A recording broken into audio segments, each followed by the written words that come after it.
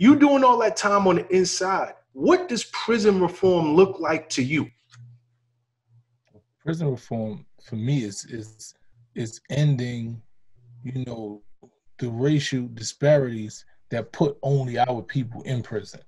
You know, understanding, like you said, that this was my first crime, and and I was a young kid with, with a, a promising future, and not being given the ability and opportunity to do something different other than being going to jail. You know what I'm saying? Not having um, programs and, and, and things that that eliminate prison for, for, for youth.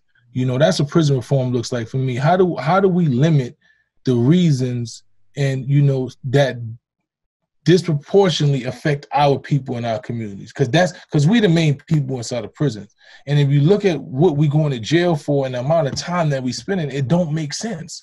You know it doesn't make sense. And that's why when you look at the fact that okay they saying oh now drug crimes we we oh, we, we, we want to eliminate these people who've been doing 20 and 30 and 40 years for drug crimes. It, it never made sense.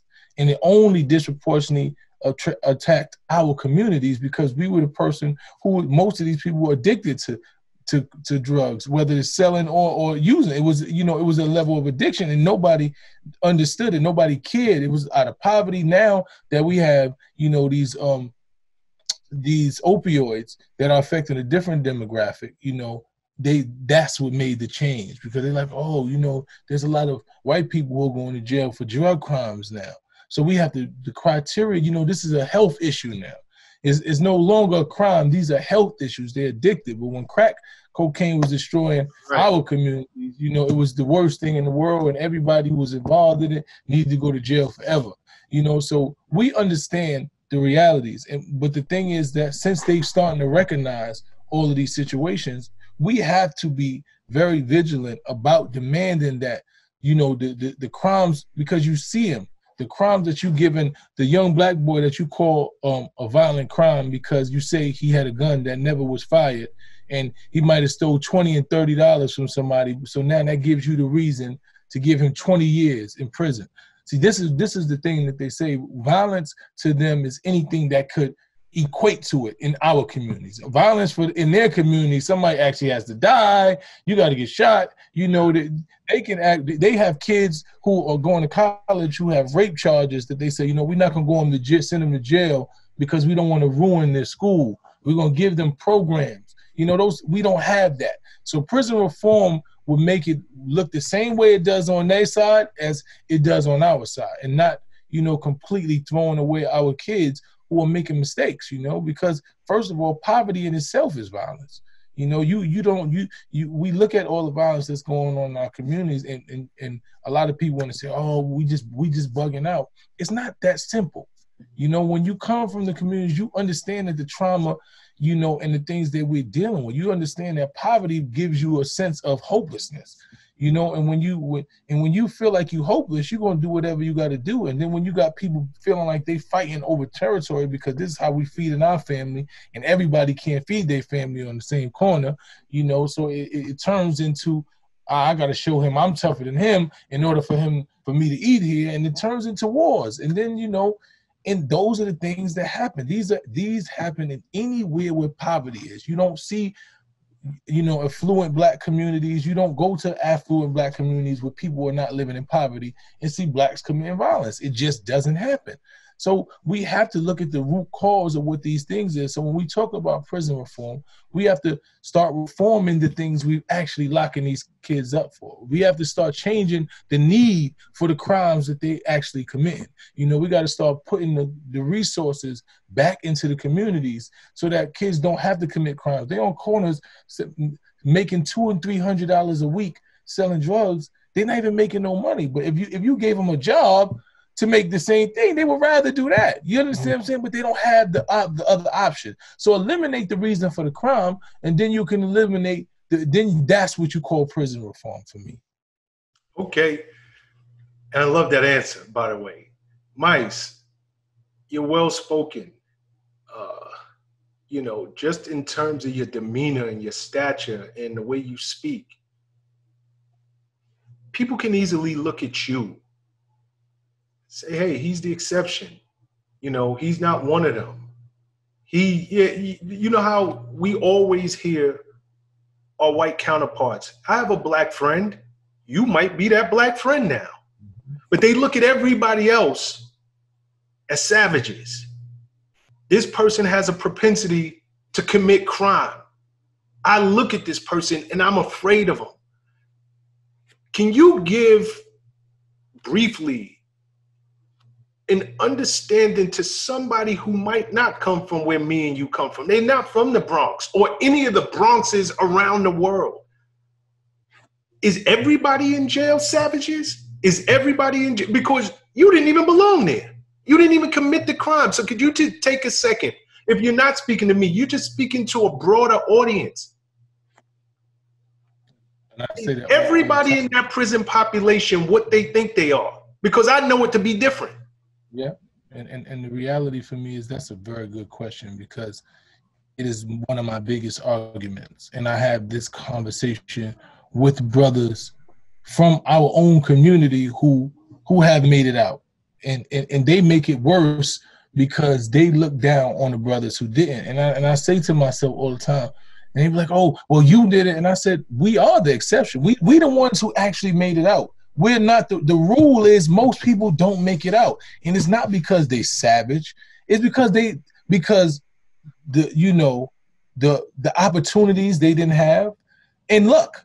You know, the bottom line is people say, "I wasn't lucky. I worked hard." I said, "Well, you could have been the, the Central Park Five.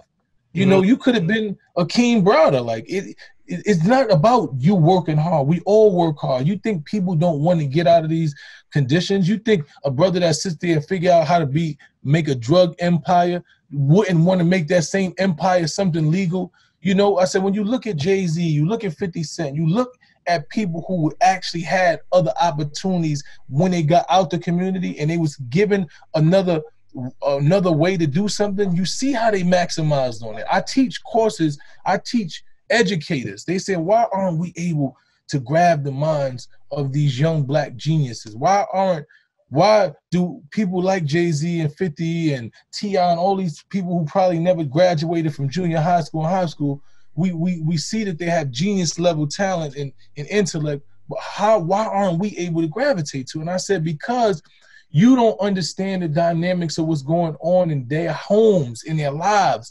They don't have. I, I, I broke down yesterday. You know, we did um our street politicians podcast, me and we were talking about what goes on in our communities and how in by third and fourth grade I was dealing with so much inner turmoil in my home be- between drugs, domestic violence, poverty, you know, all types of things in my household that by the time I got to school, I couldn't even really focus on that. I didn't sleep the whole night. The police was we was in a police station because my mother and father was fighting, and I had to go there and, and, and the, the, neighbor stay at the neighbor's house. I was scared to like, and then I, and now I'm got to go to school, and you telling me that I, I'm, my behavior is off, and I'm and I'm this bad person, but you don't realize the trauma that we deal with every day.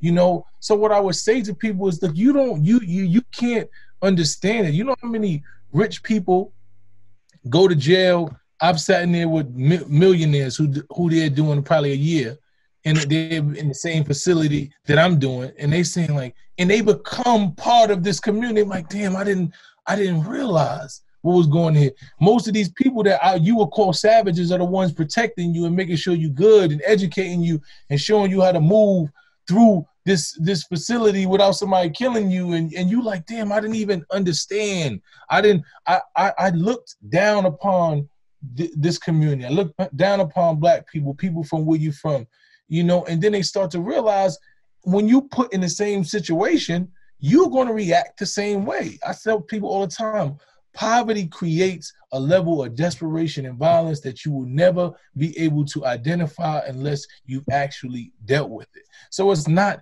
anyone being savagery. The same the same mentality that you celebrate in your army you know, will you call this person a general? These same kids, if they went to the army, you would call them generals. You would call them Purple Hearts. They because they they have the same level of fearlessness, It's just put to something different. And they feel like this hood is the is America for them. This is where they was born. This is what the only thing they connect themselves with. These these people here have made them believe that this is all we have and we gotta fight and die for this. The same way America has made the soldiers in the army believe that we got to go out here and fight, go to different countries, no matter who we got to kill whatever, you're doing it for honor. And that's what they've been taught about in these communities. So when you say savagery, why you don't call the Purple Heart soldiers that you that they tell you killed all of these soldiers in war, and you come home and celebrate them? They have the same Ooh, mentality. Damn, you know, you preaching. You know, it's the same exact. Because I've been there. I've been on the block on my block and say, "You're not gonna come here and terrorize our block." You know, this is our block. We willing to die for this block, whatever it's gonna take. It's 10 of us up there. When they come up the block, we fighting. Somebody might get stabbed, somebody might shoot. And I never, I felt I was doing something out of honor. I looked at my man and said, I'm gonna protect you. I'm willing to die for you. You know what I'm saying? We have that same mentality. So when you give us something else to fight for, when you give us something that's positive to fight for, when you when you change and re retrain the mind state and you give us, you know, just basic human necessities to survive, we don't feel that sense of desperation. We can put that same, you know, integrity that's why people say, "Oh, you you you you go by the street code." I, for me, it's a code of integrity as a man, being willing to stand up for what you believe in, stand by whatever you did, and handle however it comes. If you can't do that in the streets, you can't do it nowhere else. You can't be my partner in my business if I don't if I don't trust that you got my back, that you're gonna stand by me and whatever comes with it, I don't want to deal with you nowhere in life. So it's not just a street code when you talk about not snitching. I need if me and you are, are, are, partners and they try to tell you, listen, you need to say he did something wrong in business to save yourself, and you willing to do that, it don't have nothing to do with criminality. It's just about integrity. It's about this is my man, and whatever it is, we did this together, and we're gonna deal with it however we got to deal with it as men. And he knows that I got his back, and I know that he got mine. So I tell people all the time, man, it's not it's not the individual, it is the circumstances that create the individual. There's nobody born savagery. You know, especially not in our communities. We just that's not who we are. If you talk to most of the most notorious people you know, I know some of these most notorious gang affiliated brothers who are the most humble, loving people you'll ever meet.